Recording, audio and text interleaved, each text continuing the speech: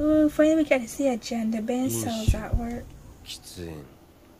I didn't say I was the one to see what the characters look like when they switch genders. Finally we get to see Work hard, work hard. Work hard. So that what? Cool. Yeah. I wonder what this one would about. The disease maybe. Oh, there's a boy in my character. 健康な体に働き方改革など関係ない。終わりのない絶望の中で細胞たちの命をかけた戦い。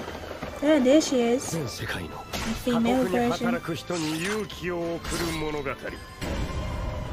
働く細胞ブラック。過重労働の細胞たちは何を思うのか。